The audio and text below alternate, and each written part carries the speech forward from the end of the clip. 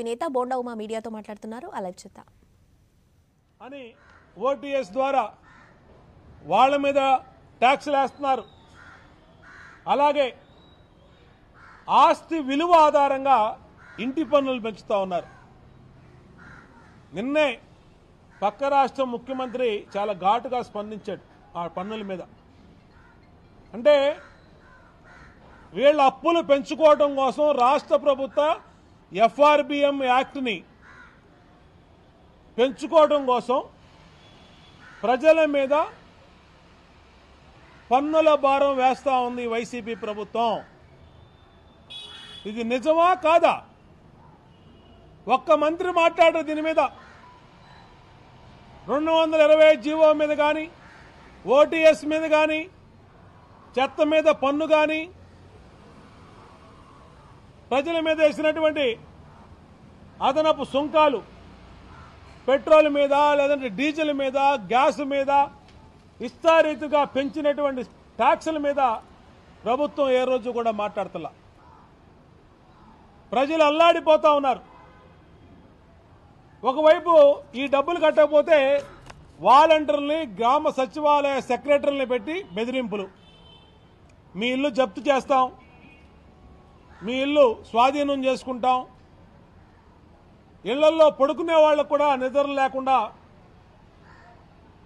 ఈ వైసీపీ ప్రభుత్వం వైసీపీకి ఓటేసినందుకు తమ చెప్పుతో తామే కొట్టుకునే పరిస్థితి ఇవాళ రాష్ట్ర ప్రజలకి మూడు సంవత్సరాల పరిపాలనలో జగన్మోహన్ రెడ్డి పరిపాలనలో వచ్చింది. ఈరోజు అన్ని రకాలుగా అటు అప్పుల పాలు చేశారు.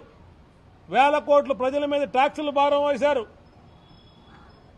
అన్ని సరుకులు కూడా ఆకాశాన్ని అంటుతున్నటువంటి తరుణంలో ప్రజల దృష్టి మరలించడానికి ప్రభుత్వ వ్యతిరేక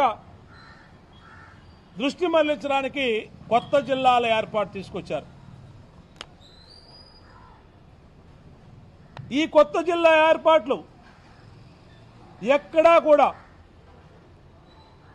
ఆ జిల్లాల్లో స్టేక్ హోల్డర్స్ అయినటువంటి ప్రజల్ని అభిప్రాయ సేకరణ కానీ మెజార్టీ ప్రజల అభిప్రాయాలను కానీ జిల్లా కేంద్రాలని జిల్లా కేంద్రాల పట్ల సౌకర్యవంతంగా చూడటం కానీ ఎక్కడా కూడా లేకుండా వైసీపీ రాజకీయ ప్రయోజనాల కోసం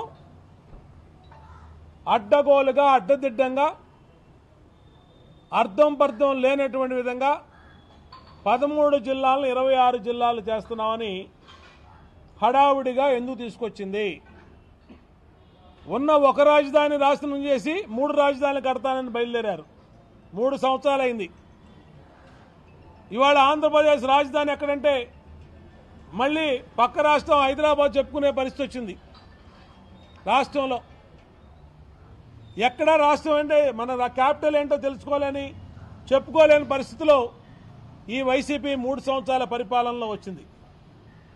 అనేక చోట్ల జిల్లా కేంద్రాల కేంద్రాల విషయంలో కానీ పేర్ల విషయంలో కానీ అనేక అభ్యంతరాలు ఉన్నాయి.